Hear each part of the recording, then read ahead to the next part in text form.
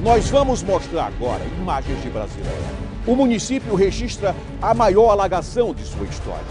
Mais de 90% do município foi atingido pela enchente. Brasileia está sem energia elétrica e sem comunicação desde o início da semana. Você vai acompanhar agora a reportagem do Ligeirinho da Fronteira, que nunca mais deu notícia também, o Ligeirinho, hein?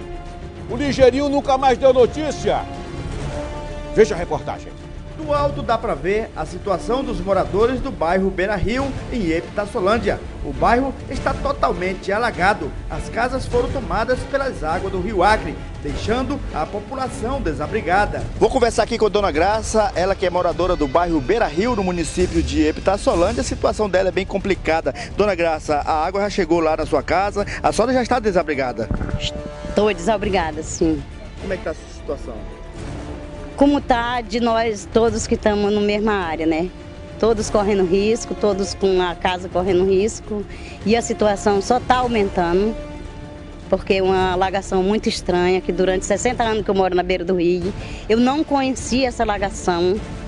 E em, em momento nenhum eu não conhecia essa, esse tipo de situação. Essa é uma das maiores alagações que aconteceu aqui no município? É uma maior das alagações que aconteceu durante 60 anos de vida que eu tenho, que moro na beira dele, do Rio Acre, é a maior alagação que eu conheço até hoje. Nossa equipe de reportagem pega uma carona no barco do Exército Brasileiro, que está transportando os desabrigados da maior enchente de Brasileia. Na travessia do rio, muito cuidado. A rua Marechal Rondon, a situação é essa: centenas de casas debaixo d'água. Na rua Genia 6, local onde acontece o Carnaval de Brasileia, está assim. A Praça Hugo Poli ficou literalmente coberta pelas águas do Rio Acre, o fórum do município inundado. O Poder Legislativo de Brasileia também foi atingido. As viaturas da Secretaria Municipal de Saúde estão debaixo d'água. Agora estamos na principal avenida de Brasileia, prefeito Rolando Moreira. A delegacia ficou totalmente alagada. Os presos foram transferidos para a delegacia de Epitaçolândia. As casas comerciais da Avenida Prefeito Rolando Moreira estão sendo levadas pela enchente. Já são dezenas de casas levadas pela correnteza muitos comerciantes foram pegos de surpresa. Vou conversar aqui com o senhor Beni. Senhor Beni, realmente a sua casa foi levada pelo rio Acre? É, vai, tá indo de água abaixo. Mas o que a gente pode fazer? É mandado por Deus, né? Deus é quem quer comandar, que mande, né? Que a natureza é perfeita, ninguém pode de, é, combater ela, né? Não tá certo? Na hora que a casa estava indo, o senhor estava lá?